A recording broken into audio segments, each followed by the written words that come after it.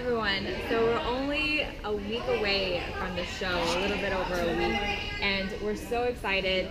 Um, here you can see we're at the studios in Fremont uh, doing rehearsal for the Ao Dai Festival.